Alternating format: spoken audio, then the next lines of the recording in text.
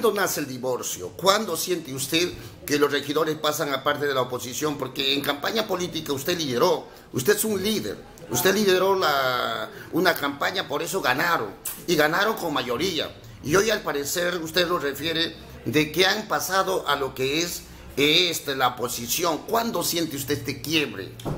Verdaderamente es lastimosamente decirlo así, que muchas veces las apariencias engañan.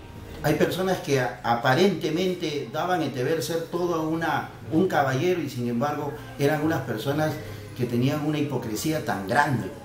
Porque desde el primer momento yo voy a ser una piedra en el zapato de Manuel García.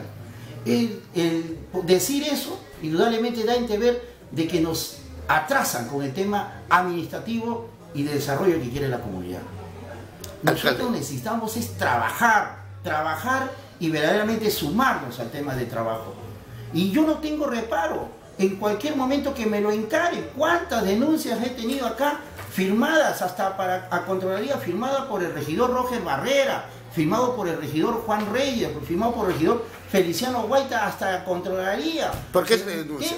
¿Por qué se le denuncia? Un tema en el cual ellos dicen pues que en el tema de la contratación del CAS, donde pedían la anulación, cuando eso es un tema administrativo.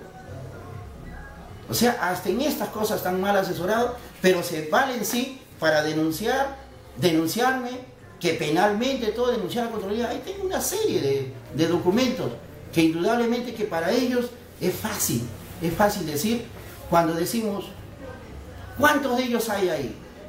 tres, cuatro, cinco, seis, que son las personas conocidas. Hay un señor de la calle Arequipa, hay un señor de la calle Jorge Chávez, que son personas que toda la vida lo único que han buscado siempre era justamente estar viviendo parásitamente expensas de, una autoridad.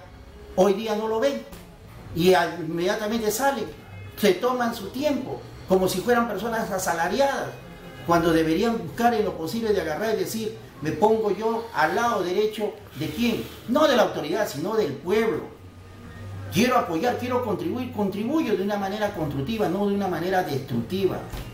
Y eso verdaderamente la población lo sabe, la población lo ve. Es fácil acercarse cuando escuchas de un vecino decir que en un, en un negocio, que le pregunten a qué es lo que hablan estos regidores la gente, que son personas verdaderamente desleales, son personas que buscan, no sé, qué entre comillas, qué quedarán, que no son personas sinceras, son personas verdaderamente que no son sinceros consigo mismo. Quién sabe, pues muchas veces, lamentablemente, sea la falta de roce social que muchas veces conllevan a, estas actitudes.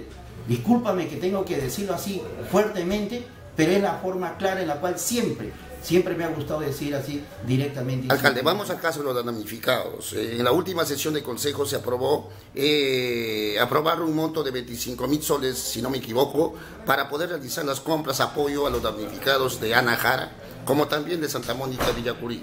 Esto refiere de que el alcalde estaría en este caso manejando solo, solamente comprando menú y otro es, y no estaría apoyando concretamente para que la población tenga conocimiento cuál es entonces, en todo caso, la transparencia, cuál es lo que está realizando, qué apoyo se le ha dado a los damnificados. Cuando ellos afirman que el alcalde solamente es el que se quiere manejar, en ningún momento, salvo la señora Rosa Hernández y la señora Jenny que apoyó en un momento en el local eh, comunal en Villarrotary, la señora Rosa sí siempre viene con ellos incluso, con los mismos este, damnificados.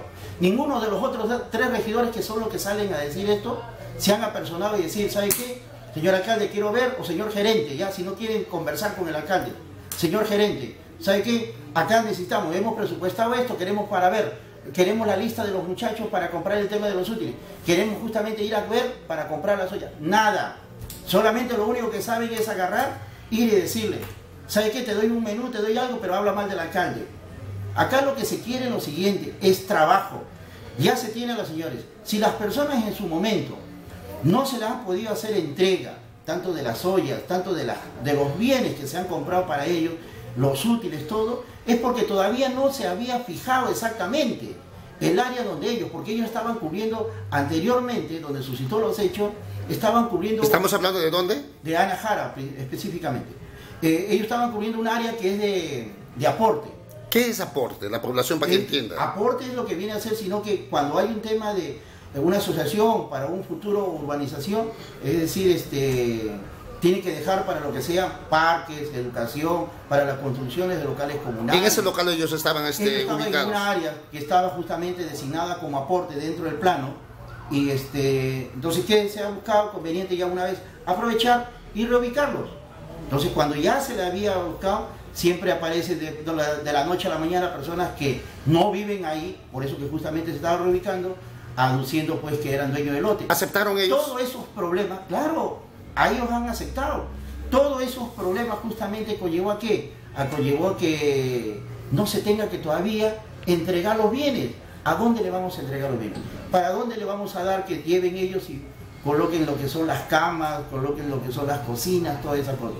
Primero tenía que ubicarse. Pero ya se compró. Ya se, ya se ha construido, ya todo está comprado. ¿Se Ya les ha entregado entregando, Claro, así es. Sino que como vuelvo a repetir, primero hay, ver, hay que conocer los hechos. Entonces, no, hay que no es cierto que el alcalde está comprándose el menú, etcétera, para ellos. Eso no es cierto. Por el momento se ha estado atendiendo, como vuelvo a repetir, ¿hasta qué? Hasta que se tenga sinceramiento. Por eso yo les vuelvo, los invito a los regidores que primero se informen, porque al final patinan, criollamente, patinan y quedan mal, porque quedan como dando a entrever que no son personas que primero se informan antes de hablar. Y eso yo creo más aún cuando uno, como el caso de, eh, profesionalmente, como el caso del mismo regidor Feliciano Guaita, es un, es un técnico en contabilidad, el, otro regidor es un profesional también en el tema de licenciado en, en odontología. Como profesionales deben saber pues cuál verdaderamente corresponde antes de ir y después venir y eso. O sea que son estoy- profesionales de, de primera línea, podemos decir, pero hay aportes, hay apoyo de parte de Por ellos. eso, uno antes de eso, indudablemente se puede esperar de alguien que puede decir pues que no ha tenido los estudios y que muchas veces se puede rápidamente este, aducir hechos, pero cuando de por medio hay un tema pues de preparación profesional y personal, el que menos dice pues, ah no, ¿qué está pasando acá? Señor gerente, yo he estado allá y allá no hay esto, yo he estado con los edificados. ¿Qué pasa? Quiero ver una vez. Eso no le cuesta ni una hora. Una vez que vean que si verdaderamente el tema de que no, que no se ha comprado todo, entonces propongo. Pero si no quiero proponer, agarro y qué hago yo. Inmediatamente puedo decir, pues señores, es por esta situación.